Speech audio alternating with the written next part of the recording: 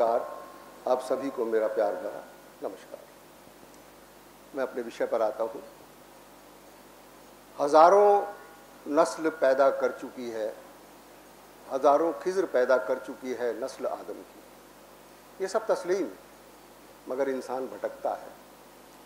ये सब, ये सच है, न मालूम कितने ऋषि, कितने मुनि, कितने साधु, कितने संत, कितने सदगुरु, कितने सत्पुरुष सिखों के, दस गुरु, जैनों के, चौबीस तीर्थंकर, बहुत बहुत सारे धर्मों के बहुत हो चुके हैं।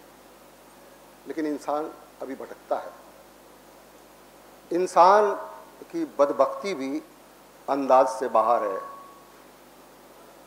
कम वक्त है खुदा और बंदा नज़र आता है। परमात्मा के यहाँ से जो भी आता है, वो परमात्मा का ही स्वरूप होता है। परमात्मा का ही अंश होता है और सबसे अधिक मूल्यवान बात, सबसे अधिक महत्वपूर्ण बात कि वो स्वयं परमात्मा होने की पूरी संभावना लेकर आता है। वो जो आता है, वो पूरी तरह से निर्दोष आता है, निर्मल आता है। वो जो आता है, वो बहुत अच्छी तरह से नहाया धोया आता है। ज़िंदगी क्या किसी मुफलिस की कवा है? जिसमें हर घड़ी दर्द के पैबंद लगते जाते हैं। ज़िंदगी क्या किसी भिखारी का लपादा है, जिसमें हर घड़ी दर्द के थेगड़े लगते जाते हैं? वास्तव में वहाँ से आते तो सब सम्राट की तरह हैं, लेकिन मरते भिखारी की तरह है। वो जो वो जो आता है, प्रत्येक बच्चा वो एक नया साम्राज्य लेकर आता है और हर बूढ़ा एक दुख की गाथा लेकर विदा हो जाता है। ऐसा लगता है जैसे ज़िंदगी कुल जमा एक दुख का जोड़ बन जाती है।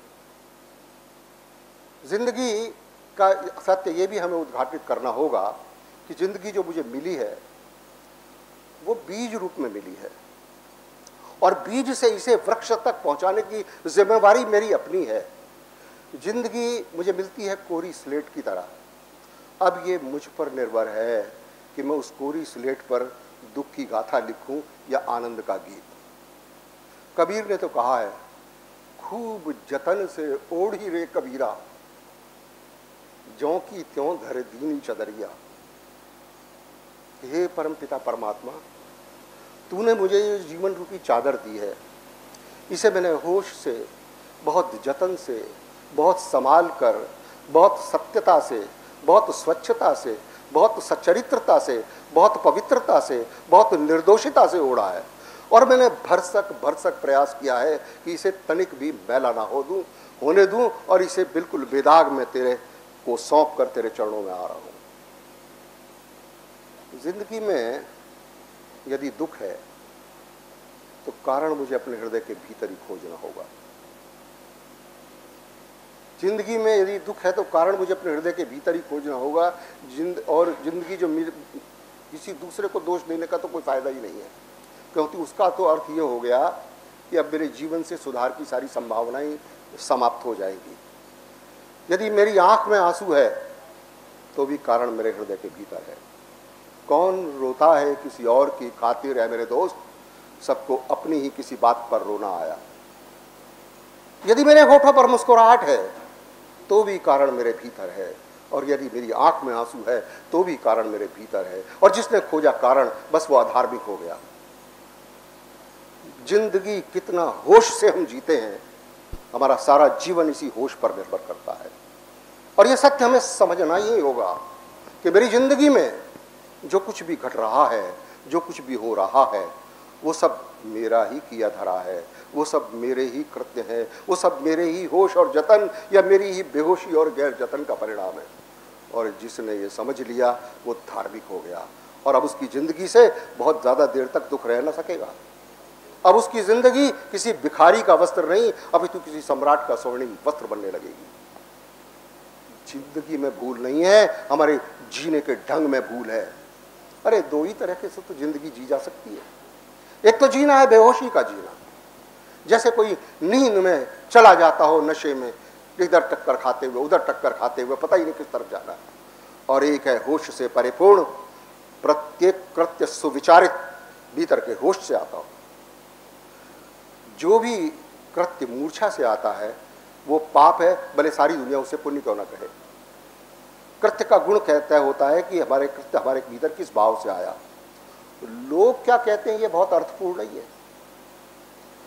हम अपने चार मित्रों के साथ बाहर खड़े सड़क पर, राह पर खड़े बातें कर रहे हैं, और अचानक एक भिखारी आता है और हमारी प्रशंसा करने लगता है, और उसकी प्रशंसा सुनकर हम जेब में हाथ डालते हैं उसे कुछ निकाल कर दे देते हैं। अब हमारे मित्र तो और वहाँ मौजूद लोग तो कहेंगे, ये तो पुण्य किया गया तो दान हो गया। ये दान नहीं हुआ। ये दान नहीं हुआ, ये पाप हो गया, क्योंकि ये मूर्छा से आया है। दान यदि हमने इसलिए दिया कि चार लोगों के साथ हम खड़े थे वो हमारी प्रशंसा कर रहा था। उस प्रशंसा से हम भ्रमित हो रहे थे, गर्वित हो रहे थे, अहंकार ग्रसित हो रहे थे और एक भय भी लग रहा था हमें यदि हमने इसे मना कर दिया तो इन चार दोस्तों के सामने हमारी क्या रह जाएगी? तो इन सारे भावों से संक्रमित होकर हमने कुछ किया तो वो दान नहीं हुआ। और एक दान के बारे में दो लाइनें और छोटी सी कह दूँ मैं, कि जो हम दान की परिभाषाएँ समझते हैं कि दस लाख रुपए का मैंने वहाँ चेक कर दिया, मैंने वहाँ ये भंडारा कर दिया, मैंने ये कर दिया ये दान का कुछ अलग रूप है। ये जब कभी चलता होगा, भाव से तो चलता होगा। आज तो ये यश प्राप्ति की एक किश्त है। आज तो ये दिखावा है। दान का तो मैं छोटी सी उदाहरण देता हूँ कि मैं घर से बाहर निकला और प्राय मैं अपने पैसे रख के लेके चाहता हूँ। आज पता नहीं मेरे से क्या हुआ। मैं पैसे रखना भूल गया, पर्स रखना भूल गया, मेरे पास कुछ भी नहीं है। और मैंने एक भिखारी को बड़ी दयनीय स्थिति में देखा और मेरे मन में अपार करुणा पैदा हो गई। मेरे मन में लगा, मैं इसे कुछ करूँ, कुछ दूँ। मैंने जेब में हाथ डाला, मेरी कुछ भी नहीं, हाथ में मेरे, मुझे बड़ी शर्मिंदगी हुई। लेकिन मैं ऐसे नहीं रुका। मैंने उस भिखारी को अपने गले से लगाया, उसको थपथपाया कि भाई मुझे माफ़ कर दे, आज मैं कुछ लेके नहीं निकला हूँ। मैं कल फिर इधर से निकलूँगा तो मैं कुछ को ज़रूर करूँगा। मैं तुझे कुछ दे नहीं पाया, मैं क्षमा चाहता हूँ। अब भिखारी ने क्या कहा, वो सुनो। भिखारी कहता है, आपने जो मुझे दे दिया वो मुझे आज तक किसी ने नहीं दिया। भीख मांग के रोती तो मैं रोज शाम को खाता हूँ। लेकिन आपने जो मुझे अपने गले से लगाया, मुझे अपने बराबर मिलाया, मुझे जो थपथपाहट की, वो वो आपने मुझे जो सम्मान दिया है, अपने समकक्ष जो रखा है, वो तो किसी ने दिया ही नहीं। तो आपने क्या दे दिया मैं बता नहीं सकता आपको। एक छोटा बच्चा रास्ते पे रो रहा है और मैंने उसको पुचकार लिया। कुछ कोई खिलौना छोटा सा झुंझुना दे दिया उसे। अब वो बच्चा मुझे निहार रहा है। इसमें कहीं कोई पैसा नहीं आया, कोई धन नहीं आया, लेकिन भाव ट्रांसफ़र हुआ। करुणा आई और करुणा गई, ये दान सम्मिलित हुआ। कृत्य का गुण होता है कि कृत्य हमारे भीतर कहाँ से आया? और यदि बेहोशी से आया है, मूर्छा से आया है तो मंदिर में की गई पूजा प्रार्थना पाप होगा मैं छोटी सी परिभाषा करता हूँ। जो कृत्य मूर्छित, पाप, जो कृत्य जागृत होशपूर्ण पुण्य भगवान बुद्ध कहते हैं कि पापी दोनों लोग में शोक करता है। इस लोक में भी परपक्व अब पापी के जीवन को हम समझे, क्योंकि अधिकांश में तो वही हमारा जीवन है। और ये भी समझाते हैं कि जब हम मूर्छा में कोई कृत्य करते हैं तो उस मूर्छा के कारण हमें कुछ उपलब्ध नहीं होता। जैसे हम पहलगाम घूम रहे हैं। हम तो पहलगाम घूम रहे हैं। और जैसे ही विचार चले हम वर्तमान से डिस्कनेक्ट हुए। हम पहलगाम से डिस्कनेक्ट हुए। अब पहलगाम की बयार ठंडी, वहाँ का दिव्य सौंदर्य, वहाँ की सुंदर दर्शनावली, वहाँ की पेड़ों की हरियाली, वहाँ बड़े बड़े बाग हरे अच्छा में वहाँ नदी की बहरी कर कर हमें कुछ स्पर्श नहीं करता क्योंकि हमारे को तो टेंशन है कि पिछले दो दिन बहुत भयंकर बारिश हुई है। सड़क यातायात बंद हो चुका है और हमें बेकार हर हालत में दिल्ली पहुँचना है। तो जो होश में नहीं है वो वर्तमान से छूट जाता है। और जो वर्तमान से छूट जाता है, वो उत्सव से वंचित हो जाता है। और जो होश में नहीं होता, वो वर्तमान में हो भी नहीं सकता।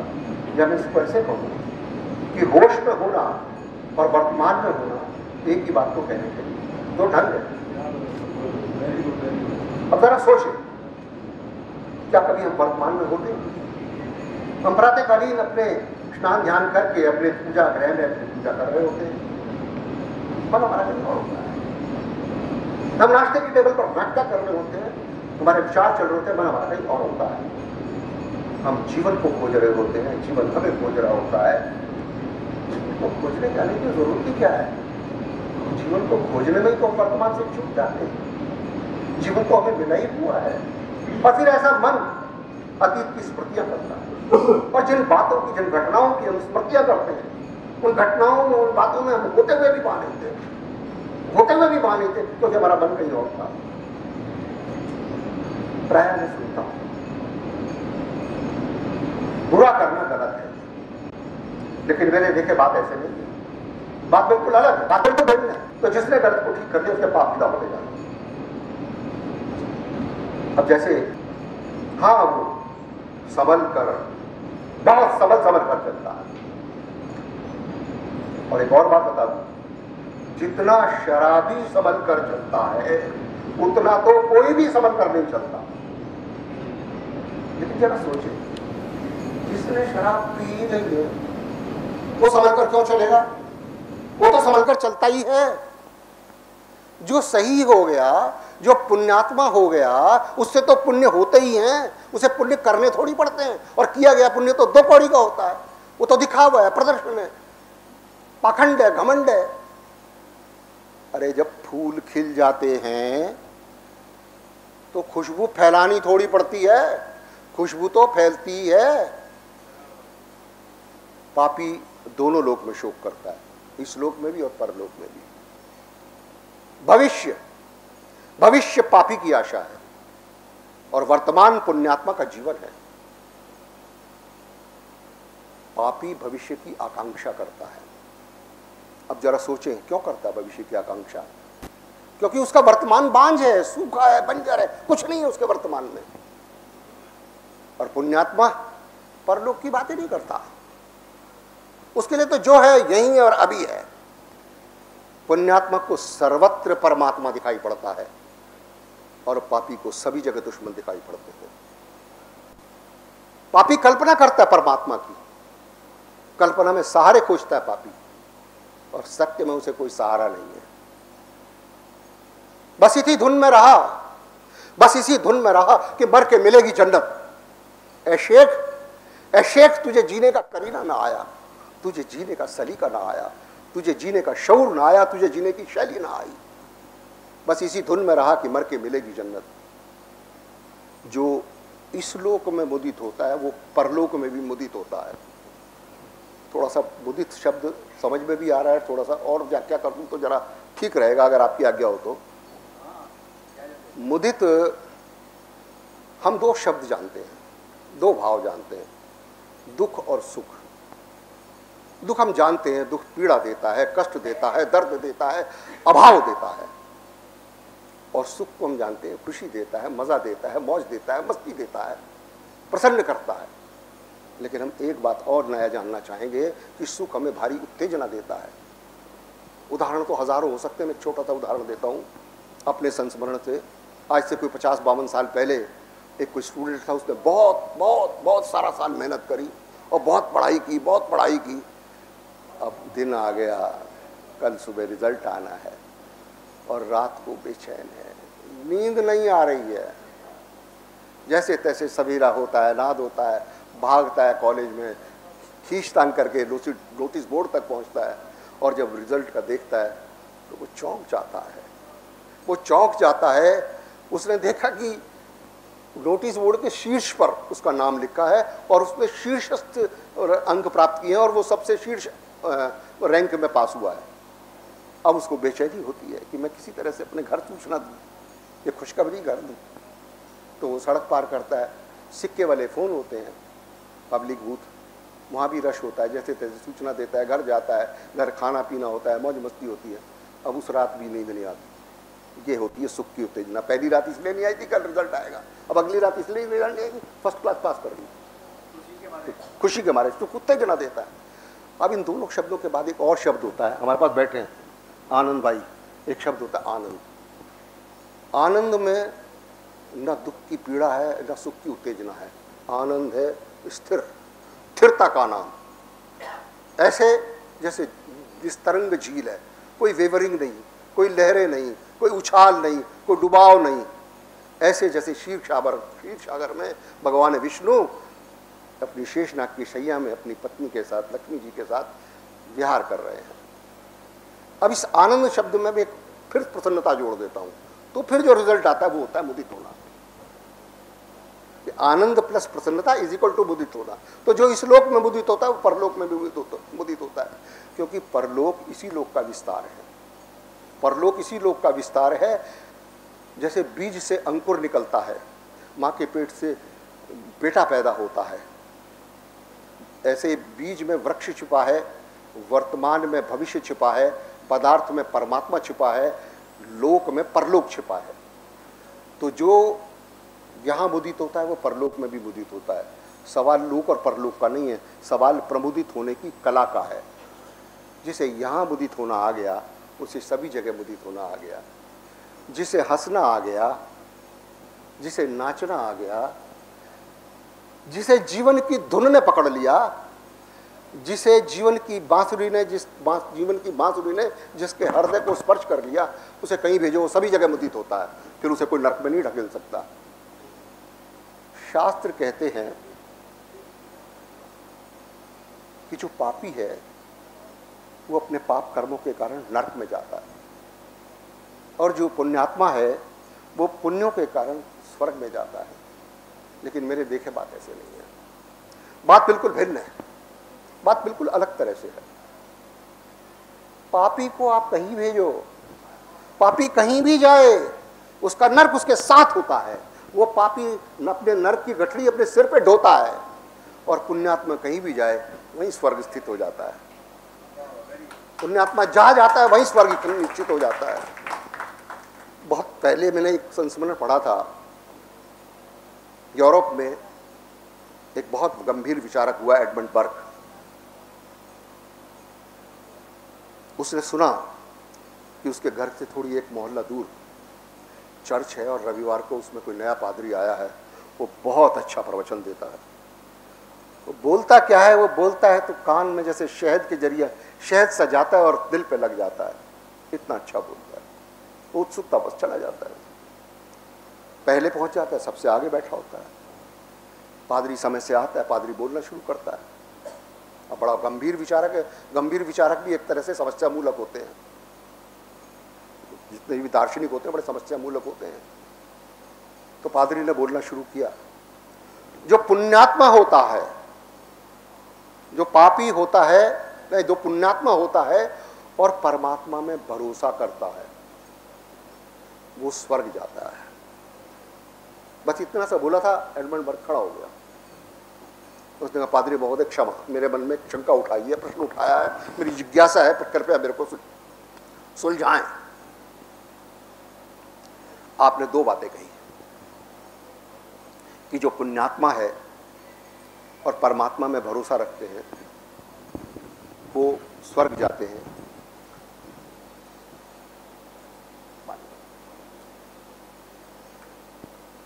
वो स्वर्ग जाते हैं। मेरे मन में प्रश्न ये उठ रहा है कि जो पुण्यात्मा तो है, लेकिन परमात्मा में भरोसा नहीं रखते, वो कहाँ जाते हैं तो दूसरी बात, कि जो परमात्मा में तो भरोसा रखते हैं, लेकिन पुण्य आदि कुछ नहीं करते, वो कहाँ जाते हैं? अब पादरी सोचने लगा, सोचता रहा सोचता रहा। उत्तर देना सरल ना रहा, अटक गया।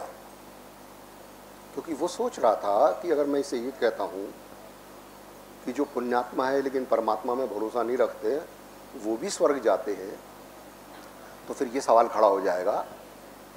तो फिर तो पुण्यात्मा होना ही काफ़ी है, फिर परमात्मा में भरोसे की कोई ज़रूरत ही नहीं। और अगर मैं ये कहूँ कि पुण्यात्मा नहीं है, लेकिन परमात्मा में भरोसा रखते हैं, वो भी स्वर्ग जाते हैं। तो फिर सवाल ये उठ जाएगा तो फिर परमात्मा में भरोसा काफ़ी है पुण्य आदमी के चक्कर में पड़ने की ज़रूरत क्या है? पर पादरी ईमानदार था, सच्चा था, काइया चलाक नहीं था, बेईमान नहीं था। उसने, भाई तूने मुझे उलझन में डाल दिया। मुझे सोचने के लिए वक्त चाहिए। मैं तेरे को कल सुबह इसका उत्तर दूँगा। पादरी चला गया। सारे लोग भी या श्रोता भी चले गए। अब घर गया तो घर पत्नी ने खाना परोसा, उसने खाने की थाली सरका दी। कैसा खाना, किसका खाना? जब घर में इतना ज़्यादा चिंता, इतनी व्यग्रता है तो कैसे, नींद कैसे आवे? बिस्तर पर लेट गया। रात्रि का एक पहर बीता सोचते सोचते सोचते सोचते, कोई उत्तर नहीं। दूसरा पहर भी बीत गया, कोई उत्तर नहीं। तीसरा पहर भी बीत गया, कोई उत्तर नहीं। मन तनावग्रस्त, तन थकानग्रस्त, निढाल, परेशान, थका, मन से भी, तन से भी लुढ़क गया, नींद आ गई। सपना देखा सपने में देखा कुछ रेलगाड़ी में बैठा है और रेलगाड़ी धड़धड़ाती दौड़े जा रही है, दौड़े जा रही है, दौड़े जा रही है। और उसको समझ नहीं आ रहा गाड़ी कहाँ जा रही है। और मज़े की बात यह गाड़ी में उसके अलावा कोई और नहीं, कोई यात्री नहीं। पूछे तो किससे पूछे गाड़ी कहाँ जा रही है? जैसे तैसे थोड़ी देर में क्रेल कर्मी आया, उससे पूछा, भाई, ये गाड़ी कहाँ जा रही है? उसने कहा, जी, स्वर्ग जा रही है। वो खुश हो गया। अरे वाह, अब तो मेरे मज़ा आ गए तो मैं जाके पूछ लूँगा। उसने सोच रखे थे नाम। सुकरात पुण्यात्मा भरपूर, परमात्मा को नहीं मानते। भगवान बुद्ध, पुण्यात्मा कौन सी बड़ी मूर्त लाओगे बुद्ध से ज़्यादा पुण्य की, परमात्मा को नहीं मानते। स्वर्ग पहुँच गया। गाड़ी रुक गई, स्टेशन देख के चौंक गया। बिल्कुल उजाड़, बियाबान, धूल लटी पड़ी, जाले लटके पड़े, कोई नहीं। पैदल चलता गया चलता गया, कभी कोई साधु संत दिख जाए कमंडलधारी कभी कोई ऋषि मुनि दिख जाए, किसी को पकड़ के पूछा उसने, भाई यहाँ सुकरात हैं? यहाँ बुद्ध हैं? उन्होंने कहा, जी, यहाँ नहीं है, नरक में खोजो। भागा स्टेशन पे। भाग सौभाग्य, नरक की गाड़ी तैयार खड़ी थी, बैठ गया। गाड़ी चलने लगी। अब नरक की गाड़ी चल रही है, चल रही है, लोग भीड़ हो रही है, भीड़ हो रही है। उधर सोचा गतल में तख्ती की गलती है। ये गाड़ी स्वर्ग जा रही है, वो नरक की थी गाड़ी। नरक पहुँच गए, वहाँ उतरा, किसी से पूछा कि, भाई, यहाँ सुकरात है, यहाँ बुद्ध है? हाँ जी है। और जब वो आए तभी से स्वर्ग बना। जब वो आए तो स्वर्ग बना। तो नींद टूट गई, सपना टूट गया। भागा पर चर्च की तरफ़। वहाँ देखा तो एडमिट नंबर पहले बैठा था, उसे कौन सा रात को नींद आई थी? वो तैयार बैठा था। उसने कहा, भाई, मुझे माफ़ कर, मेरी सामर्थ्य नहीं है तेरे इस प्रश्न का उत्तर देने की। यह सपना देखा है मैंने, ये सपना सुना देता हूँ तेरे को। और मुझे लगता है कि जहाँ पुण्यात्मा जाता है, वहाँ स्वर्ग स्थापित हो जाता है।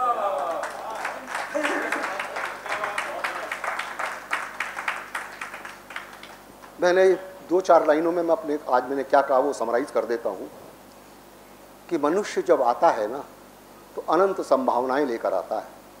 और जब हम आते हैं तो बहुत अनंत संभावनाएँ लेकर आते हैं। और इन संभावनाओं को पूरा करने का दायित्व मेरा है, कोई और नहीं मेरा दायित्व पूरा करने वाला। दूसरा, हम जीवन को होश पूर्वक जिए।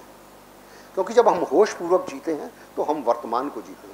ये ठीक है, हमें भविष्य की योजनाएँ बनानी चाहिए, सब कुछ करना चाहिए, लेकिन भविष्य की योजना बनाने में इतना समय ना बर्बाद कर दें कि हम वर्तमान का पल खो दें। और मेरे प्यारे मित्र कहते हैं, ज़िंदगी वर्षों में नहीं पल पल में होती है ज़िंदगी। और बस पल पल में मैं ज़िंदगी जीता हूँ तो मेरा पल वर्तमान का ना खो जाए। इति धन्यवाद। आपसे प्रेम बांटने आपके हृदय के समीप गोविंद धन्यवाद।